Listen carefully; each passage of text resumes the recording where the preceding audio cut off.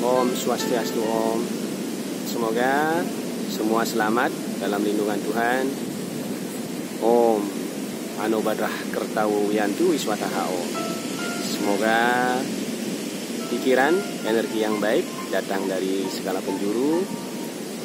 Om Satchit Ananda Om. Semoga kita selalu berada di jalan kebenaran, sadar dan berbahagia. Om Lokas Samasta Sukino Bawantu Om. Semoga alam semesta Ruang waktu beserta seluruh isinya rahayu.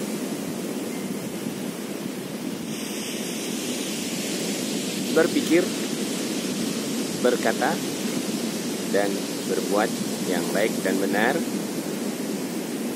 Sangat mudah untuk diucapkan. Namun bagi sebagian besar kita tidaklah mudah untuk dilaksanakan. Di Bali, pikiran, perkataan, dan perbuatan yang baik dan benar disebut sebagai Trikaya Parisuda. Anak-anak kecil pun sangat hafal dengan hal ini. Namun sesungguhnya ini merupakan konsep yang paling dasar dari kehidupan kita sebagai manusia. Di mana pikiran adalah cikal bakal dari realitas kita. Bila kita pahami himne penciptaan dari Rigveda yang kemudian sangat dipopulerkan oleh Mahatma Gandhi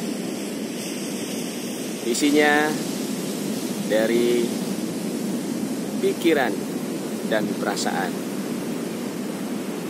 Terlahirlah perkataan dan perbuatan. Dari perkataan dan perbuatan ini menjadi kebiasaan, habits. Dari kebiasaan-kebiasaan kita menjadi karakter kita. Kemudian karakter kita inilah sesungguhnya pada akhirnya yang menjadi nasib atau takdir kita. Jadi sesungguhnya apabila kita ingin merubah nasib, merubah takdir, yang pertama-tama harus diubah adalah pikiran kita. Sehingga pada akhirnya realita kehidupan kita pun berubah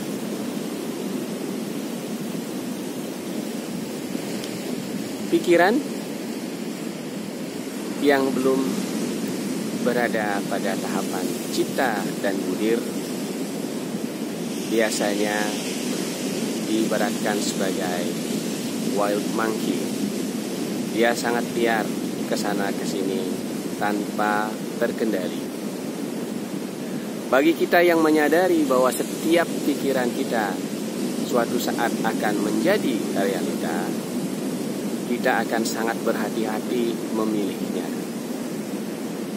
Kita akan selalu mengendalikannya.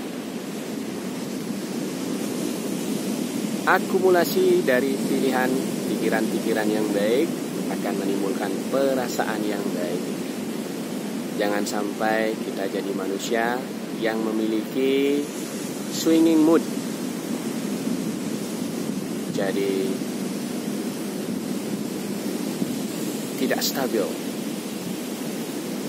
Mengapa kita harus memilih pikiran-pikiran yang baik agar kita selalu bisa berucap yang baik dan bertindak yang baik.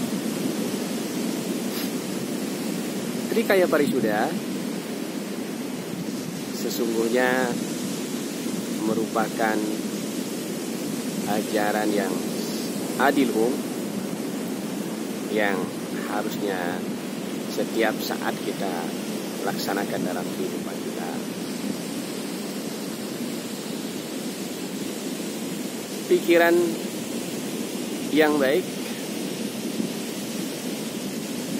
pada awalnya memang tidaklah mudah berpikir baik, memiliki perasaan yang positif. Apalagi dalam kondisi yang tidak baik, yang tidak positif. Jadi di awal tidak terlalu mudah, namun apabila kita biasakan, semua hal bila dibiasakan akan menjadi mudah pada akhirnya. Jadi mari kita memilih pikiran-pikiran kita yang baik dalam kondisi apa pun kita sehingga realita kita suatu saat akan menjadi baik. Terima kasih.